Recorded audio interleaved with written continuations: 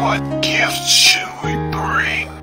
A dozen stolen rifles, a bag of silver,